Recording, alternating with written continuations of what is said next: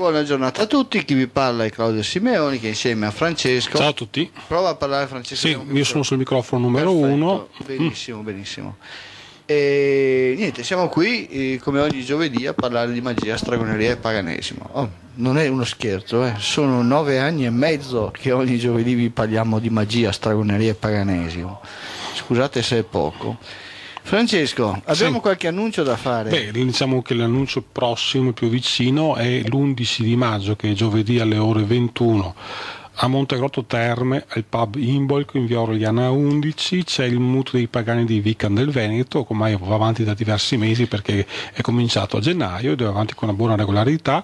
Era appunto a Montegrotto, ci ritroviamo come sempre al pub Imbolco, appunto in cui sarà un momento di discussione, di conoscenza, di confronto, di dibattito, di tutti scambio di notizie di no- e che perciò c'è anche la possibilità di incontrarsi con altri pagani con realtà diverse e di avere questo incontro informale in quanto non è legato a una conferenza, a una presentazione, ma persone che si ritrovano, che intervengono e discutono, perciò do l'appuntamento per chi vuole intervenire al prossimo giovedì 11 maggio alle ore 21 pub Imbolc a Montegrotto Terme in via Aureliana logicamente poi su internet saranno tutti i comunicati c'è anche il numero di telefono da contattare per quanto riguarda le persone che vogliono avere delle notizie su circa questo MUT questo incontro periodico Perciò questo diciamo, è l'unico impegno consistente che c'è nel mese di maggio. Ecco un'altra cosa così per inciso, visto che parliamo di un nostro amico, eh, seguite con attenzione le pagine degli appuntamenti perché c'è in questo periodo l'amico Federico Molo che sta facendo conferenza raffica dappertutto. Non sempre riusciamo a dare notizia, anche perché non sempre sono tematiche legate con un interesse specifico nella trasmissione, tipo parlo del suo ultimo libro appunto la Custode dei Misteri, che appunto è la, la parte della trilogia sugli antichi veneti, che è un libro che io consiglio di leggere, però anche Federico Moro in questo periodo ha scritto un libro sulle battaglie della Serenissima, ha preso per ogni secolo della storia della Repubblica di Venezia due battaglie e le ha commentate e questo libro vedo che ha continui successi, continue presentazioni, perciò logicamente essendo un libro storico per noi è meno appetibile rispetto a Parlo alla voce della Dea e la cosa dei misteri, però seguite le notizie delle conferenze perché la cosa vale, ha senso ascoltarlo ed è importante ascoltarlo ed è poi anche un nostro amico. Insomma. Bene, Mm. allora cominciamo un po' la trasmissione di oggi perché io sono un pochino arrabbiato. E sono un pochino arrabbiato perché eh, quando mi sfuggono eh, certe notizie così importanti, e chiaramente vuol dire che anche nel circuito notizie, pur avendo tutta una serie di collegamenti con eh, giornali, tutta una serie di collegamenti con organi di informazione, tutta una serie di collegamenti per le notizie, significa che il Vaticano riesce a silenziare comunque eh, tutta una serie di notizie, tutta una serie di informazioni. E la cosa mi scoccia, perché mi scoccia? Perché se eh, col prete Marco Agostini è venuto fuori immediatamente le porcate che questo individuo faceva, o meglio immediatamente, ci hanno messo due anni di indagini veramente, comunque quando è stato arrestato la cosa è venuta fuori, se col prete della, della Calabria le notizie delle sue porcate sono venute fuori immediatamente, qui invece stamattina vengo avvertito che un altro prete viene arrestato. E il problema grosso non è il fatto che il prete venga arrestato, sto parlando del mio punto di problema, dal mio punto Mm. di vista, ma il fatto che questo prete in realtà era già agli arresti domiciliari, in pratica era già stato arrestato e messo agli arresti domiciliari. Solo che io da un mese era agli arresti domiciliari e non ne sappiamo assolutamente niente. Il che vuol dire che il Vaticano era riuscito a bloccare o a circoscrivere la diffusione della notizia. E invece ieri mattina eh, questo prete è stato arrestato in galera. E adesso vediamo anche il perché. Ve la prendo la notizia dalla Gazzetta del Mezzogiorno, perché sono purtroppo costretto a prenderla da là. E dice pedofilia, arrestato sacerdote nel Leccese. Era stato già bloccato circa un mese fa in auto a Roma in compagnia di un dodicenne, ma poi avrebbe tentato di convincere la famiglia del bambino a non sporgere denuncia. Roma, un sacerdote quarantenne è stato arrestato dagli agenti della squadra mobile di Rom- Romana in un paese vicino Lecce nell'ambito di un'indagine su abusi sessuali nei confronti di minorenni. Secondo indiscrezioni, il sacerdote, già bloccato circa un mese fa dagli... attenzione, questo è stato bloccato un mese fa dagli agenti della polizia stradale mentre si trovava in compagnia di un dodicenne a bordo della sua auto sul grande raccordo anulare della capitale. Cioè in pratica è stato arrestato in flagranza di reato. Avrebbe questo personaggio cercato di convincere la famiglia del minore a non sporgere denuncia nei suoi confronti. Per questo motivo il religioso, parroco della cittadina pugliese, sarebbe stato raggiunto da un nuovo provvedimento di custodia cautelare. Le indagini degli investigatori della quarta sezione della squadra mobile di Roma erano iniziate subito dopo la scoperta dei continui viaggi fatti a Roma dal sacerdote, durante i quali l'uomo era solito farsi accompagnare da ragazzi del suo paese. La polizia, ascoltando varie testimonianze, comprese inizialmente quella del dodicenne trovato in auto con il religioso, ha accertato che i minorenni venivano condotti sempre nello stesso ambiente romano. Dopo essere finito agli arresti domiciliari nella sua abitazione, il sacerdote tuttavia avrebbe continuato ad avere rapporti con i ragazzi anche nel suo appartamento ed avrebbe tentato, secondo l'accusa, di inquinare le prove a suo carico contattando le famiglie dei minorenni, tutte residenti nello stesso paese. Proseguendo nelle indagini sul conto del religioso, però, la polizia, in collaborazione con la mobile di Lecce, ha condotto una serie di accertamenti nel centro abitato dove vivono circa 2000 persone. Con grandi difficoltà gli investigatori hanno scoperto che alcuni anni fa il sacerdote aveva formato un gruppo religioso che organizzava campi estivi e invernali per i giovani del paese e aveva creato anche un gruppo direttivo soprannominato il gruppo dei dodici composto da adolescenti maschi, alcuni dei quali avrebbero accompagnato il sacerdote nei suoi viaggi a Roma. Fra le varie testimonianze la polizia ha anche ottenuto quella della perpetua della parrocchia che, secondo quanto ha raccontato agli investigatori, già in passato avrebbe avuto sospetti sui comportamenti tenuti dal religioso nei confronti dei ragazzi e per questo sarebbe stata anche picchiata. 3 maggio 2006 tratto dal sito www.lagazzettadelmezzogiorno.it e anche nel Corriere della Sera www.corriere.it abbiamo questa notizia però in termini molto più stringati in manette un prete di Sternatia nelle Cese già gli arresti domiciliari perché è accusato di pedofilia il sacerdote fermato questa mattina dagli agenti della squadra mobile di Roma era stato colto in flagrante un mese fa mentre era appartato in auto con un minore L'arresto è scattato perché il religioso avrebbe tentato di inquinare le prove a suo carico. Ora si trova nel carcere di Lecce. Cioè, effettivamente mi fa incazzare questa cosa qua, perché una notizia del genere praticamente è stata silenziata. Cioè, è di una gravità enorme. Cioè, vi rendete conto che si fanno le prime pagine dei giornali perché un ragazzino un ubriaco va a scrivere 666 con una bomboletta spray o con un pennello su una chiesa, si fanno prime pagine dei giornali? e si riesce a silenziare una notizia di un prete che violenta sistematicamente dei ragazzini. Ma se tu pensi che il giornale Corriere del Vento, con il fatto delle pagine intere a Vicenza, sono dei ragazzi stati sospesi a scuola perché giocavano con delle finte osti. Fate, cioè, siamo eh, all'allucinazione, cioè veramente. Cioè, io continuo a ripetere ancora, io non metto in discussione eh, che le forze di polizia e i carabinieri e i magistrati facciano il loro dovere quando è possibile farlo. Però non c'è eh, attività preventiva. Cioè non si parte dal presupposto che gli oratori servono per stuprare bambini, per spacciare eroina, per costruire disagio sociale. Finché non si partirà da questo presupposto di indagine e non si comincerà a fare un lavoro preventivo su questo, eh, ci sarà sempre da indignarsi, ma sempre. Ma sai Claudio, è cominciato quel mese di maggio, è cominciata la campagna dell'8 per 1000 e logicamente sai, costerebbe l'immagine che si vuole dare, che si vuole costruire.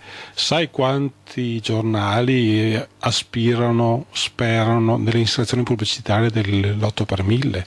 Sono cifre enormi, se tu guardi la pubblicità televisiva, io parlo solo dei canali RAI, la pubblicità televisiva dell'8 per 1000 è enorme, sono miliardi che si muovono, logicamente come si può presentare al contrario dei sacerdoti che sono così? No, queste cose vanno tenute nascoste, se si possono occultare si occultano, se si possono nascondere si nascondono, eh, si cerca di evitare il clamore, ma d'altronde l'attività di censura non avviene soltanto sui fatti dei preti pedofili, avviene anche in altri campi, perché se sul Corriere della Sera possiamo un giornalista scrive ma se i cattolici non cedessero alla tentazione censoria, se si astenessero dalla irricevibile richiesta di bloccare l'uscita di un film e di nascondere i manifesti allestiti per il pubblicarlo, pubblicizzarlo, non sarebbe una discreta prova di vitalità culturale?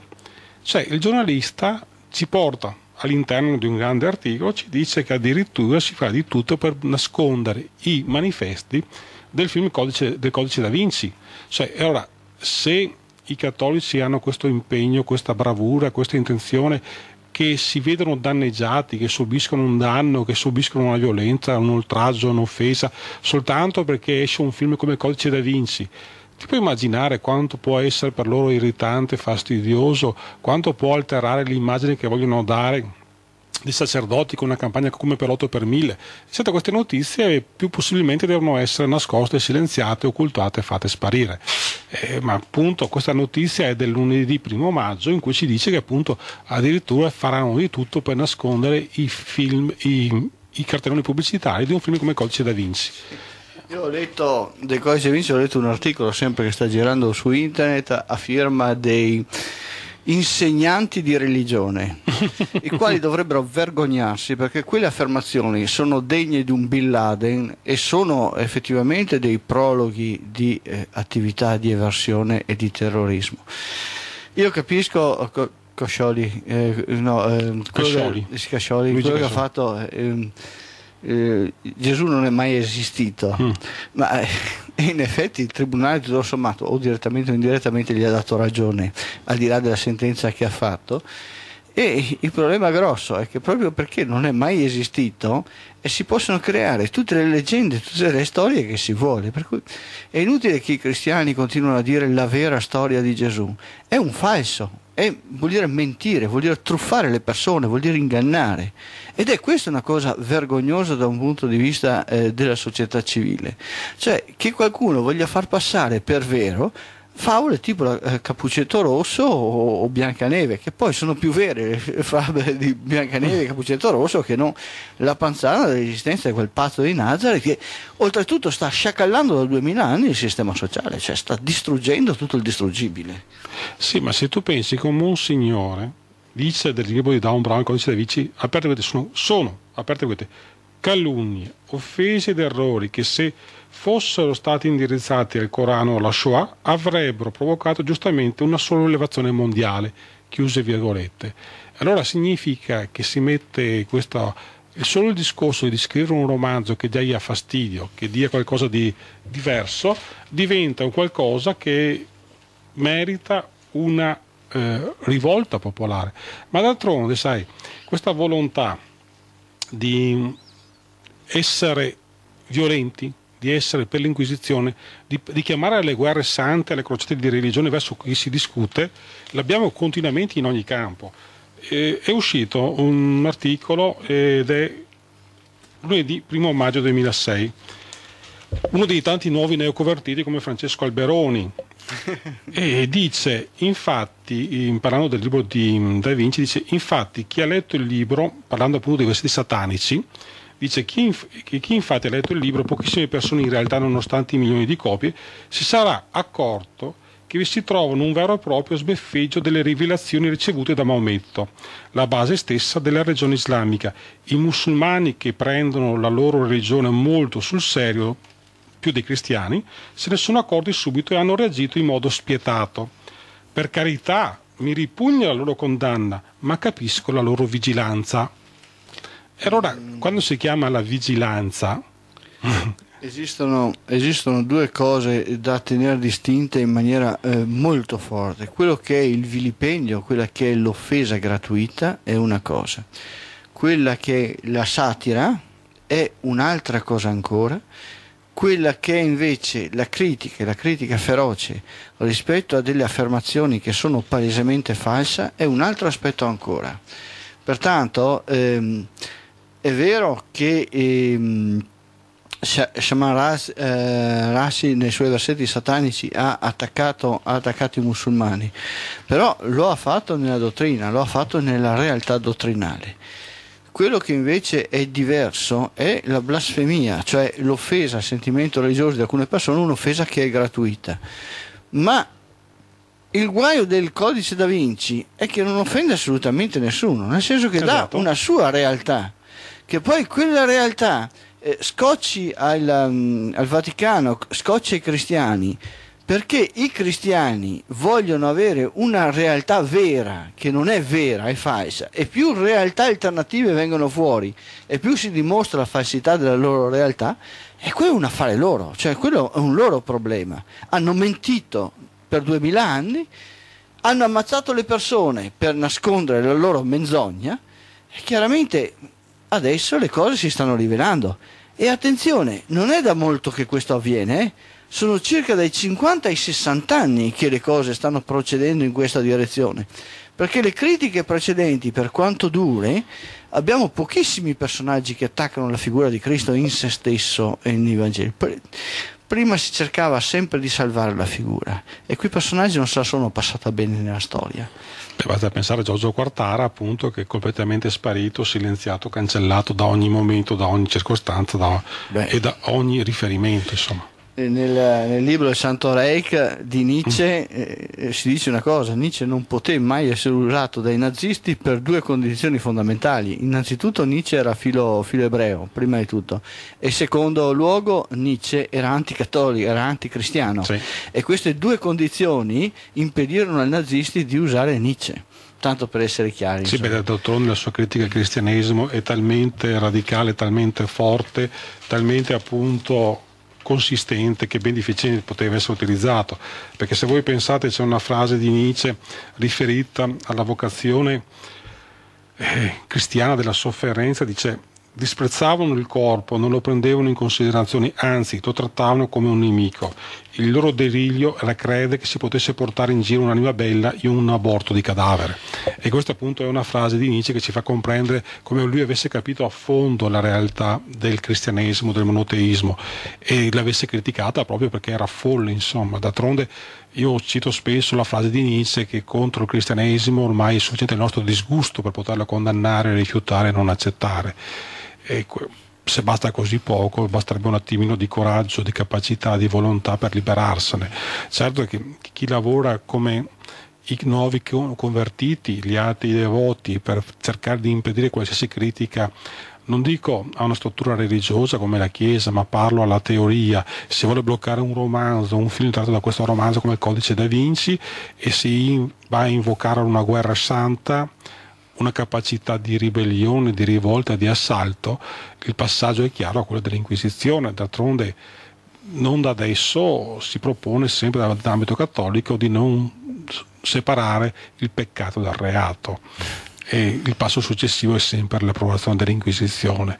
Certo che noi dovremmo avere un attimino di più capacità di ribellarci al monoteismo in tutte quante le sue nature, le sue versioni, perché io prendo un articolo che è uscito di Maga di Alam sulla sul Corriere della Sera del 3 maggio, di, mer- di mercoledì 3 maggio, in cui parla eh, degli apostati dell'Islam condannati a morte. Allora c'è sempre la tentazione di presentare il mondo islamico come un mondo compatto, un mondo univoco che va in un'unica direzione, in un'unica, un'unica possibilità.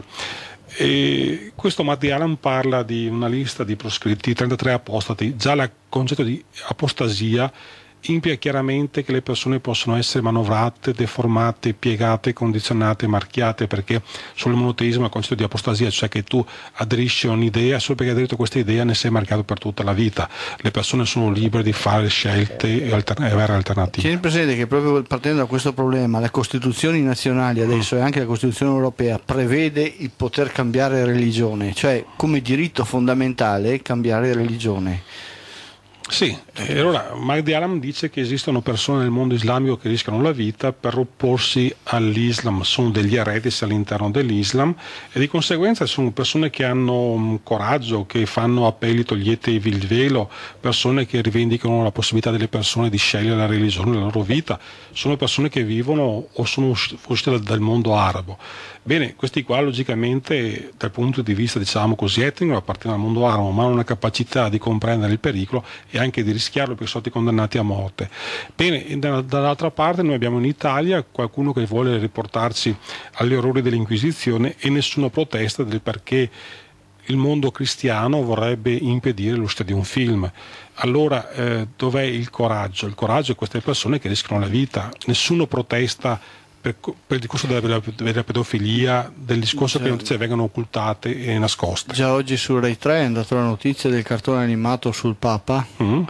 Che è stato mandato in onda da MTV sì. come prima puntata e mm, dopo un dibattito di due ore prima e un dibattito dopo perché le, le, pressioni, le pressioni criminali e mafiose fatte ad opera del Vaticano e degli ambienti cattolici ne hanno impedito l'uscita del cartone animato.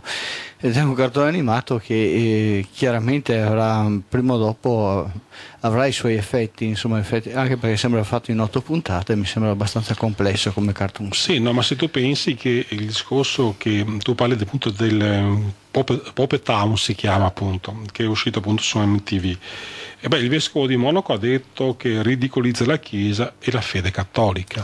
Non c'è, non c'è problemi. Cioè, effettivamente la Chiesa cattolica è ridicola e la fede nella Chiesa cattolica è ridicola. Sta di fatto che ha inciso profondamente nelle emozioni delle persone, però in sé, dal punto di vista della ragione, è ridicola. Sì, ma vedi, il fatto stesso, eh, il ridicolo è un qualcosa che deriva dagli stessi principi, perché cioè, se tu um, hai una visione del mondo una visione del mondo che è radicata, che è orientata al mondo, non ci sono problemi, ma se tu cominci a parlarmi del sesso degli angeli, della creazione, dell'Apocalisse, mi tiri fuori un concetto di peccato, di peccato veniale, peccato mortale, cioè siamo nel, nella comicità se, siamo, se, uno vive fuori dal contesto religioso cristiano trova assurdo, viene a parlare della verginità, viene a parlare di un sacco di cose, logicamente è la religione stessa che si presta che a essere presa con la vita, che si presta che, che, si scanna con la vita. Che si presta a essere presi in giro. Se tu dovessi portare avanti altre cose, sicuramente sarebbe più difficile fare cose comiche, certo. perché ci sarebbero meno appigli. Cioè, è la stessa religione cristiana, la stessa liturgia cristiana, le stesse follie cristiane, eh, ad esempio quella del, del martirio, della sofferenza, del peccato, della redenzione, certo uno può prestare, si presta al gioco e quando esiste una libertà, d'altronde se prendono in giro il profeta Maometto nel mondo arabo, nel mondo islamico, non vedo perché noi dovremmo essere da meno che non possiamo toccare questa figura mostruosa come Gesù Cristo e renderla ridicola, d'altronde è ridicola, no, affrontata dal tengo, punto di vista delle persone normali. Presente che è ridicola quando la si prende con distacco, cioè quando la sì? si prende come ehm, con un atteggiamento di libertà laica, diciamo così, ma diventa atroce, diventa criminale quando lo si prende dal punto di vista dottrinale e si impone quella dottrina, cioè quella figura e quella dottrina sui sistemi sociali. È criminale perché è il mandato de- dello stragismo. Francesco, io vorrei farti un, quisi, un quesito. Sì, Posso farti un quesito? Sì, vai pure. Allora, tu sai che ehm, qualche anno fa, no? una mm. trentina di anni fa, eh, gridarono ah, la Bibbia aveva ragione, la Bibbia aveva ragione perché scoprirono eh, la civiltà degli Ittiti. Mm. E siccome sulla Bibbia è citata la parola Ittite, no? sì. eh, urlarono che la Bibbia aveva ragione. In realtà cosa è successo? La Bibbia con gli Ittiti proprio non ha niente a che fare, non ha niente a che vedere. Mm il problema veramente grosso è che mh, un altopiano, diciamo, dove c'erano gli Ittiti mm. sopra, mantenne il nome di altopiano Ittita anche quando gli Ittiti erano spariti. Pertanto, eh, questa citazione eh, all'interno della Bibbia non è altro che l'indicazione di un altopiano. Ebbene, eh, tanta gente urlò al fatto che la Bibbia aveva ragione, avete visto che la Bibbia aveva ragione. Adesso si pone questo problema. Perché ciò che non sanno i monoteisti è che quando fai mm. un'uguaglianza, questa uguaglianza vale per tutti. Sì. Ora io ti chiedo questo. Dal momento che il Corriere della Sera del 30 aprile 2006 dice la scoperta dopo sei anni di scavi sulle tracce del cugino di Achille, rivenuta anche una corazza con geroglifici, è unica al mondo. Ecco il palazzo di Aiace. Omero aveva ragione, ritrovati a Salamina i resti di due costruzioni monumentali. L'Iliade racconta la verità. Ma allora dobbiamo dire che gli dei che combattono in forma umana è una verità? Sì è una verità. Se vogliamo parlare cioè, di verità. Se accettiamo una cosa, dobbiamo accettare anche l'altra. Sì. Anche perché c'è un discorso da fare, sai che la Bibbia è stata scritta sempre dopo, mai prima. Infatti, e, di, e di conseguenza, sai, uno, la Bibbia è un grande sondaggio di mercato. Cos'è presente sul mercato? Bene, di conseguenza noi parliamo delle cose che sono presenti sul mercato. Qual è la cultura della popolazione, della gente in cui siamo? E noi logicamente per accreditare questo raccontiamo queste cose, ma è sempre all'interno appunto dell'appropriazione indebita che rientra nel monoteismo. Cioè, il monoteismo è stato sempre una cosa artificiale, cioè nel senso che eh, già 2000 anni eh, per me il monoteismo prima non esisteva, si è stratificato dopo la vittoria fatta negli ultimi 2000 anni, cioè la Bibbia proprio è stata una cozzaglia di cose fatte con elementi diversi che sono state proprio fatte non perché annunciavano un qualcosa, ma perché qualcuno dopo ha inventato un qualcosa per giustificare la sua presenza e il suo potere. E parla appunto della conquista dell'impero romano da parte appunto di una banda, eh, di una set, della setta cristiana. Perciò hanno utilizzato leggende antiche e cosa hanno fatto? Siccome si trovavano con una marea di materiale, hanno dovuto creare un vuoto, una cancellazione, un far dimenticare le cose, un, un bruciare le opere. Se voi pensate, esiste un libro fatto da un cattolico, si chiama La follia dei cristiani, e dice chiaramente che tutta quanta la polemica anticristiana fatta dagli antichi è sopravvissuta quasi in maniera insignificante, addirittura ehm, è sparita gran parte della polemica fatta dai polemisti cristiani contro i contestatori pagani. Benissimo, di questo non ci rimane nessuna traccia, a parte appunto eh, il Giuliano Imperatore che è in tardo, perché siamo nel 360, ma anche il discorso di contro cristiani di Porfirio. Porfirio non è niente è rimasto. Cioè, soltanto che tra l'altro gli studiosi dicono che non tutte le citazioni sono autentiche, cioè che alcune sono state fatte apposta perché non esisteva più l'originale. Perciò origine quando scrive contro, contro Celso contro o contro Porfirio cioè inserisce arbitrariamente delle tesi, gli attribuisce a lui, d'altronde non sa solo che le possa smentire, per poter dire io riesco a contestare le tesi dei, dei, dei pagani anticristiani. Bene, i monoteisti hanno fatto questo, hanno fatto un'opera di purificazione della memoria, di cancellazione. Purificazione della memoria lo uso proprio in termini chiari che usava Giovanni Paolo II per dire cancelliamo quello che abbiamo commesso in 2000 anni, cioè la purifichiamo nel senso che la cancelliamo, la facciamo sparire, non c'è stata. Hanno creato un grande vuoto e dopo qualcosina l'hanno in base alle prassi, in base alle abitudini, in base ai luoghi, in base alle capacità delle persone, hanno conservato, ma in realtà il, la definizione stessa del monoteismo è un'invenzione. Vale anche per il Talmud, perché il Talmud non abbiamo testi antichissimi. Sappia, no, sappiamo che il Talmud fu scritto nel 100 d.C., cioè nel primo secolo d.C. Questo sì lo sappiamo. Cioè sì, però non abbiamo testi più antichi. No, è, è stato proprio scritto in quel momento. E sappiamo anche che la Bibbia. Anzi, mi sembra che tra l'altro, se ben ricordo, che il primo testo del Talmud che esista sia dell'800 d.C. Beh, quello il, il primo altro, testo. Cioè, un altro, ci siano notizie. Quello è un altro, discorso, quello è un altro discorso ancora. Comunque, ufficialmente, in ogni mm. caso, è stato scritto nel primo secolo d.C. il Talmud. E la Bibbia, i primi sei libri della Bibbia, sono stati elaborati a Babilonia e sono stati elaborati dai eh, fuoriusciti che poi hanno fatto i profeti tipo Isaia, Geremia, probabilmente qualcun altro e sono stati elaborati sulla base dei, del fatto che loro a Babilonia potevano andare a scuola e in contrapposizione degli ebrei che erano rimasti in Palestina mm. che invece erano completamente ignoranti. Per cui tutti i primi 5-6 libri della Bibbia sono stati elaborati lì non è mai esistito l'Esodo, non è mai esistito sì, sì, Abramo, non è mai esistito, non è mai esistito Mosè e è talmente chiaro, cioè l'archeologia ha stabilito che non sono proprio mai esistiti, cioè nel senso che del, dell'Egitto noi conosciamo anche i giornali di quel periodo, di quell'epoca che doveva essere la cosa, conosciamo anche i giornali, i rapporti che facevano le guardie di frontiera all'imperatore, cioè ci è arrivato anche questo e non esiste nessuna citazione di esodo di gente ripartita da Egitto.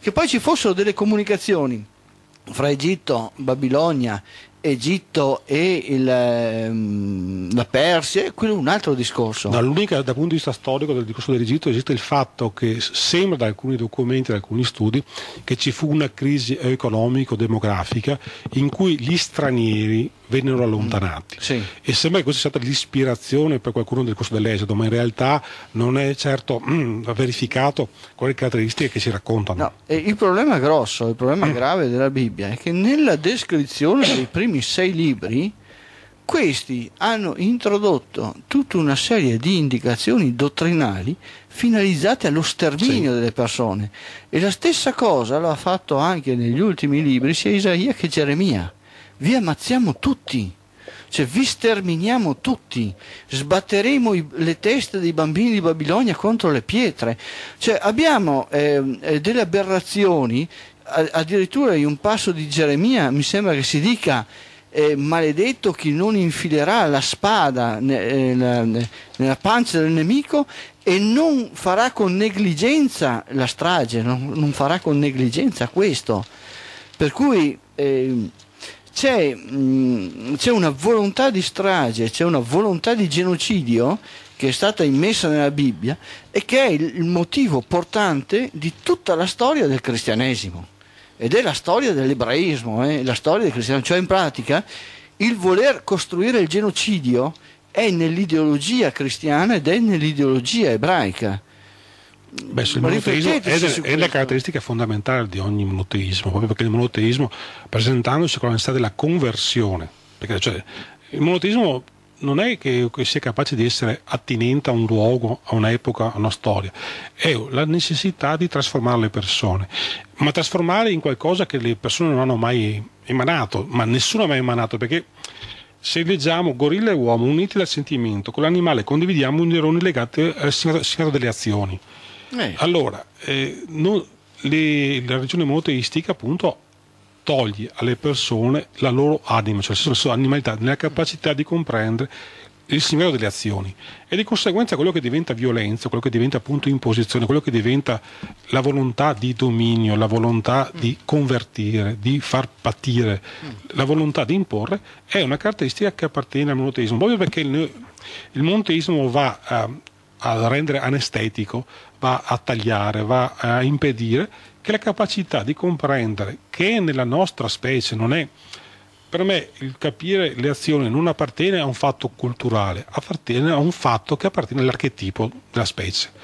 Nel senso che non appartiene solo al nostro archetipo, perché anche se appunto questo dice che anche il gorilla ha lo stesso neuroni nostri che è capace di comprendere il significato delle azioni. Benissimo, significa che l'archetipo delle specie, questo è presente nella vita di comprendere il significato. Eppure il monoteismo è la follia che rende incapaci gli uomini di comprendere cosa significano le azioni. Beh, eh, noi abbiamo Zapatero in Spagna ha proposto una legge sui diritti delle scimmie. Mm. Cioè, in pratica, cosa vuol dire la legge sui diritti delle scimmie? Che non puoi squartarle, non puoi divertirti a fare esperimenti in laboratorio, che cioè tutta quella serie di violenze che normalmente viene fatta eh, su animali indifesi. Bene, la Chiesa Cattolica eh, cosa dice? Reazione sdegnata della Chiesa.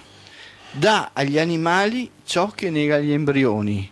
Beh, l'embrione è un non soggetto, eh, la scimmia è un soggetto che vive con noi. Naturalmente andrebbe esteso un po' a tutti gli animali ma non ci sarebbe bisogno di estenderlo se non ci fosse il eh, monoteismo che nega la relazione fra l'uomo e la natura, nega il fatto che l'uomo è parte divenuto all'interno della natura. Siccome c'è il monoteismo che ha separato l'uomo dalla natura, ha separato l'uomo dalla vita, naturalmente è necessario un lungo percorso per riportare l'uomo all'interno della vita e purtroppo c'è bisogno anche di leggi. Questo è un dato di fatto.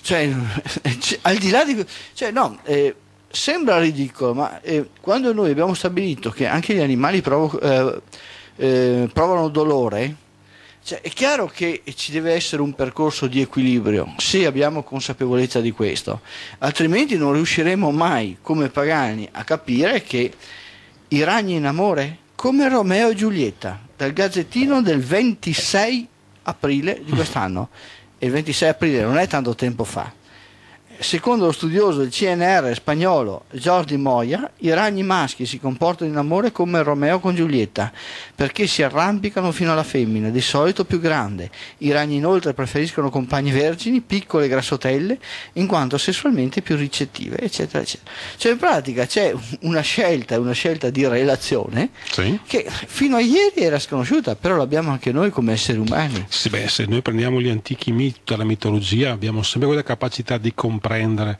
di essere attenti, di essere eh, molto precisi in quello che ci accade attorno, perché io vorrei consigliare proprio in questo senso la capacità di comprendere. Ho appena finito di leggere un libretto che, che di Rafael Lopez Pedraza, Suo amore psiche, una favola per l'anima. E l'autore fa un, fra ce ne sono, esistono tantissime analisi della favola um, appunto di amore psiche, però dà la capacità di comprendere come l'umanità, questa, in questo caso appunto psiche, vive in continuo rapporto con la divinità e di come divinità si prendono cura di, di, della psiche, di come la percorrono nella loro via e di conseguenza, dato l'autore è un autore appunto diciamo di ispirazione pagana politeista, perciò ha anche una visione proprio meno monoteistica del solito, meno puritana. Però lui dice chiaramente, dice dobbiamo leggere la tradizione pagana dagli stati della nostra paganità Già in altri momenti mi sono riferito a questa possibilità che abbiamo sempre e potremmo chiamare possibilità rinascimentale di lasciare che rinascono le nostre radici pagane. Pensate che questo qui è uno spagnolo che insegna in Venezuela a Caracas, eppure, e fa un corso di mitologia su amore psiche. Ma amore psiche, lui dice chiaramente, non è un qualcosa che insegna alle persone a staccarsi dalla loro realtà, perché psiche, per diventare quello che è, percorre una via anche dolorosa di sofferenza, però in ogni momento ha delle divinità che le sono a fianco. E lui, ad esempio, ricorda una delle prime scene di, del racconto di Amore Psiche, quando appunto addirittura Pan interviene per impedire che Psiche muoia, si, si vada a suicidarsi.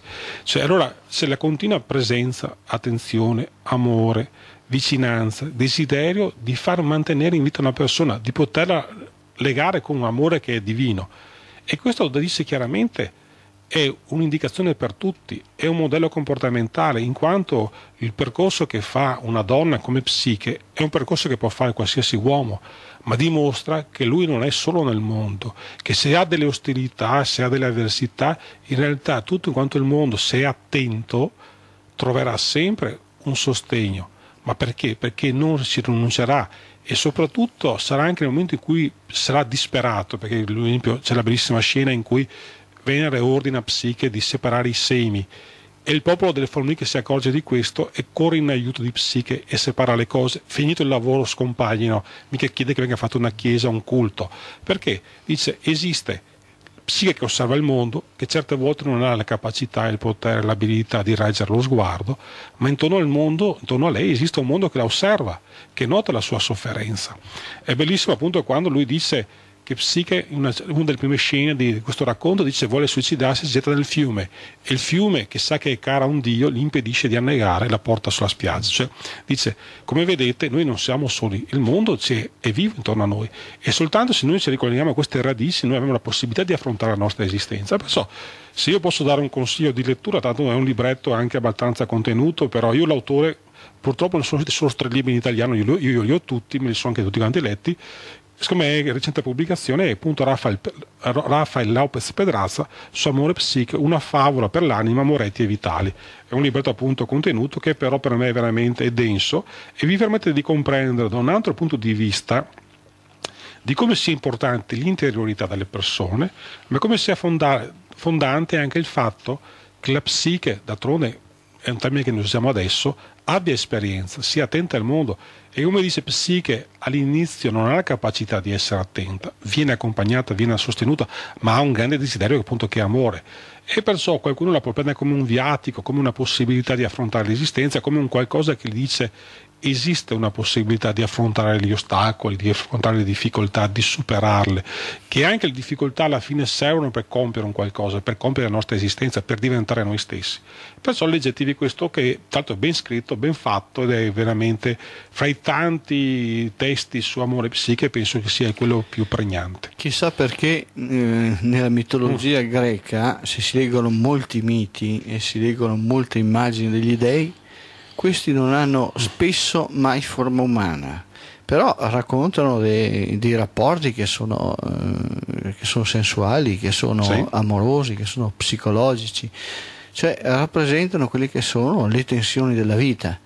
Mm, l'amore per esempio fra i Kidna e Tifone, faccio un esempio che è fra i più estremi diciamo così, Né Tifone né i Kidna hanno degli aspetti o hanno delle raffigurazioni umane, eppure molti figli nascono da loro, cioè molto amore scorre fra Tifone ed Echidna e molti dei si manifestano nelle loro azioni. Per cui ehm, e già i greci antichi, già le, le, popolazioni antiche sapevano che la manifestazione del divino eh, è al di là della forma, è al di là della specie, è al di là dei modi di essere quando si accusano gli egiziani di adorare degli animali, si dicono delle grandissime cazzate, delle grandissime stupidaggini, perché non è che adorassero gli animali gli egiziani, ma scorgevano l'azione del Dio nelle azioni degli animali e quando rappresentavano un animale rappresentavano in realtà le caratteristiche del Dio che si esprimeva all'interno di quegli animali, la loro possenza, il loro ruolo nella vita.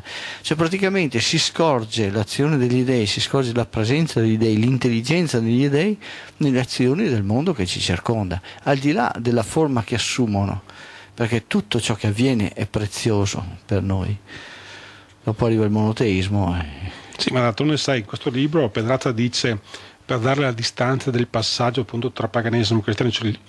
Mm, il passaggio dal paganesimo al cristianesimo e lo possiamo riassumere con la seguente morale, non ci resta nulla da fare perché i testi dicono già tutto. Cioè, pensate appunto alla povertà della persona. Nel mondo pagano ognuno può diventare un eroe, ognuno può diventare una divinità, ognuno può realizzare se stessi. Nel mondo cristiano, nel mondo monoteista, le persone sono diventate praticamente insignificanti, in no. quanto i libri hanno già tutto. No, quando le persone sterminano altre persone per favorire lo spirito in funzione dello spirito, possono essere elevate agli altari. E questa è la regola del monoteismo, mm. del cristianesimo i più grandi criminali della storia vengono elevati agli altari perché hanno macellato l'umanità in funzione dello spirito, a maggior gloria del Dio. Cioè, ed è una cosa atroce. Sì, provate questo, un po' a pensarci. Ma questo Dio esiste solo nel loro libro sacro, non esiste nelle in loro nessun, fantasie. in nessun luogo, in nessun momento. Sì, sì, beh, esistono nelle loro fantasie, nelle loro paranoie che, che diventa dogma, che diventa eh, manifestazione di verità e macellano le persone affinché si adeguino, accettino quella verità, si sottomettano a quella verità. È una cosa atroce. Io qui ho un altro articoletto sulla sindone, no? Mm. Ed è un articoletto preso dal Gazzettino del 26 aprile 2006, no?